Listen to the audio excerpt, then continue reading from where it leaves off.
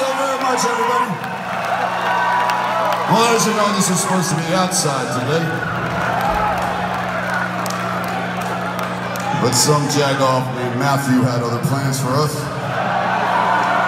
Thanks for uh, letting all the beer drinkers and hellraisers into Memorial Auditorium.